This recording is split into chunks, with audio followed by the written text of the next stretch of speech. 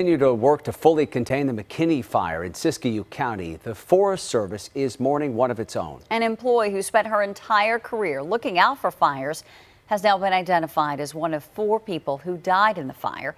KTV's Mark Sayer has her story and how she will be sorely missed.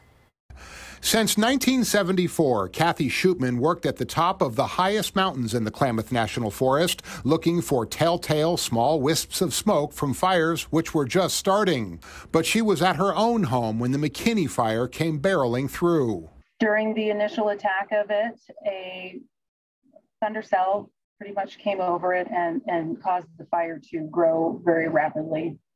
Um, and and Kathy was in her home in the community of Klamath River. There are a network of fire lookout towers throughout national forests, which are the first line of defense when it comes to locating fires. The faster a new fire is spotted, the faster the attack can begin. Shoopman, seen here second from left, was named Fire Lookout of the Year in 2014. So Kathy Kathy worked on the Klamath for a really really long time. She was here uh, since the early 70s, and um, and she's been at the, the lookout that she's been working on since 1993, and that's Buckhorn Lookout. In this video of Monday's fire briefing, provided to KTVU by Siskiyou.News, Forest Service employees paid tribute to their fallen colleague. She would have been 75 in November, and she'd been our primary lookout at Buckhorn Bally since 1993.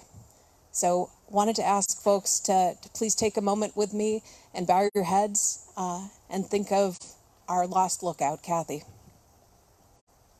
And while Shoopman worked at the Buckhorn Lookout, which is at over 5,000 feet, and she worked alone, she was still a very familiar presence to all on a regular basis.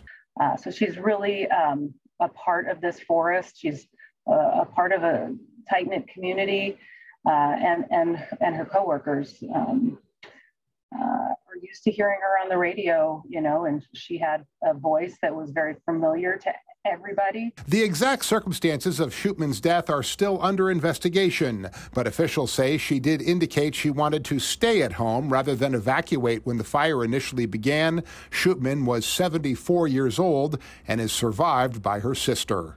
I'm Mark Sayer, KTVU Fox 2 News.